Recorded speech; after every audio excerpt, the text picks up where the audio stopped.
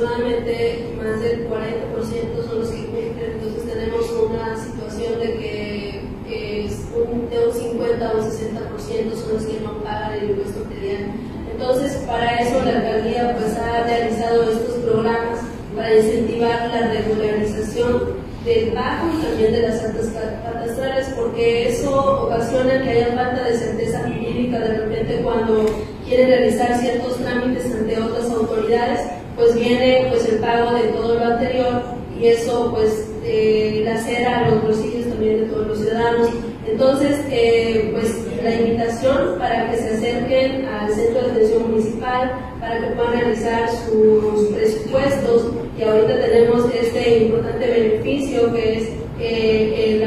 condonación de los recargos de todos los años y también de, la base en un 15%. Entonces es un, buen momento para acercarse a las oficinas, estamos pues, a medio año pues sería bueno que, que, la ciudadanía se acerque para conocer cuáles son sus adeudos. Esto en las ventanillas de ingresos van a poder realizar estas cotizaciones. Tenemos un importante padrón catastral eh, que va arriba de los 148 mil predios los cuales estos predios van en función de un 80-20, estamos en función de regularizar más del 20% de predios que, carecen o no tienen falta de esa regularización, que es un importante número, y que pueden acceder o gozar del beneficio este, del municipio a través de este presente incentivo fiscal, que es el programa. Entonces, la invitación a que podamos tener un padrón completo y que todos pues tengamos una situación eh, de derecho común y de, y de derecho que tienen todos de poder brindar certeza jurídica a sus bienes.